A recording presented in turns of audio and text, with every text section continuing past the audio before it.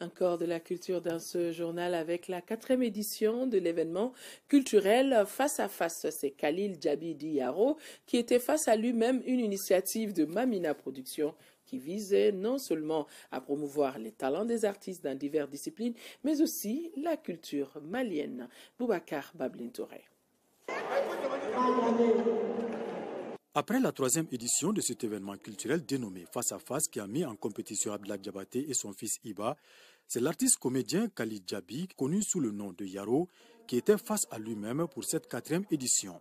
Le concept vise à mettre en exergue les talents des jeunes artistes dans diverses disciplines en vue de la promotion de notre culture. L'initiative est de Mamina Production. On réfléchit et qu'est-ce qu'on peut faire pour notre culture, pour améliorer, pour développer notre culture. Mamina Production n'imite pas. On essaie toujours de créer, de venir avec quelque chose de nouveau. J'ai pensé à créer face à face. Ça peut être deux personnes, comme ça peut être une seule personne.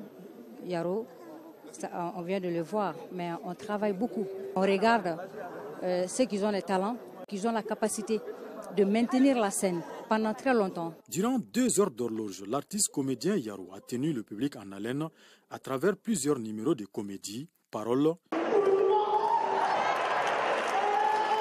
danse et musique. Qui Dieu la donne l'envie, cette initiative-là, à la. Ça n'a qu'à continuer jusqu'à la fin.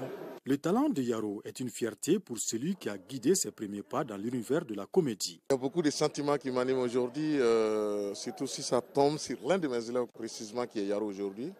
C'est une joie énorme chez nous parce que c'est pas tout le monde qui est choisi euh, dans cette émission face à face. La soirée a été marquée par la remise de trophées à l'artiste qui a été choisi à l'unanimité par le public.